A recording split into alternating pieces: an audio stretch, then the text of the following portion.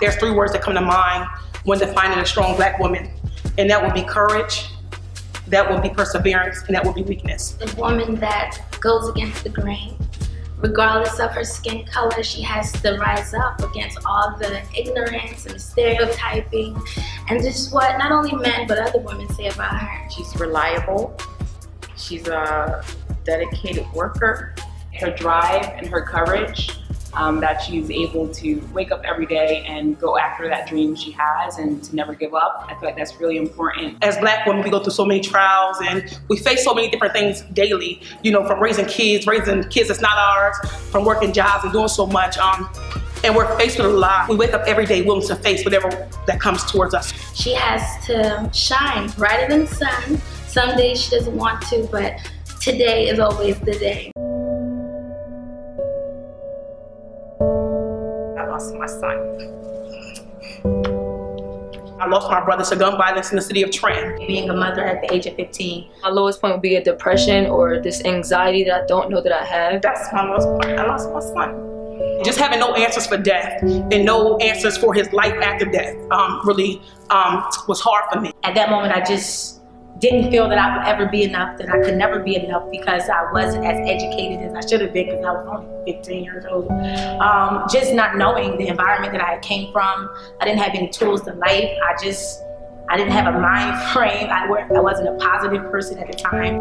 And I just feel like I really had brought somebody into this world and I just was incapable and I wasn't worthy because I get to travel the world and I see different communities, different cultures, and my heart breaks for people that don't understand their power and their purpose and the pain that they go through and the position they are in their life. And I just want to help help people help themselves. Um, I work in construction with men, and every day is a challenge for me as a black female because I'm being judged on everything that I do, no matter how good I am no, matter, no matter how much I do, no matter how show them. I'm there giving more than most of these guys that's there.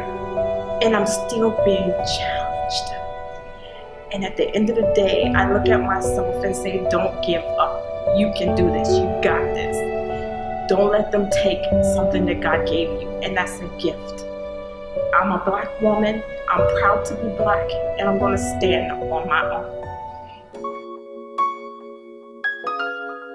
I am more than a conqueror. I am intelligent. I am bold. I am talented. I am independent. I am blessed.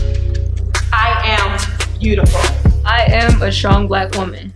You are beautiful. You are beautiful. You are beautiful. No matter what comes at you, whatever you're faced with, just know that you can do it.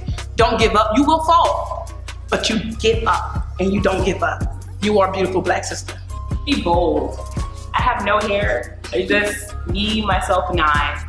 Um, you bring what you have to the table, and as long as you put your best foot forward, there's no reason for you to get what you want. Smile.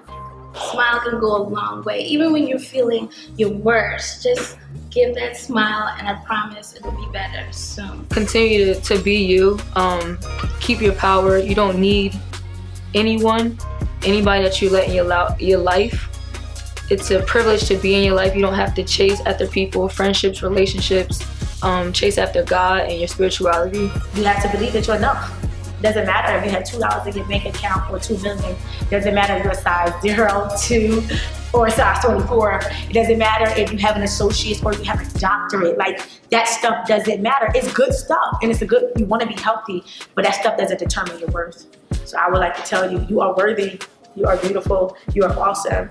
The advice that I would give them is to, to um, through your life. Never give up. Never give up. Be comfortable in the skin that you're in. God made you black for a reason.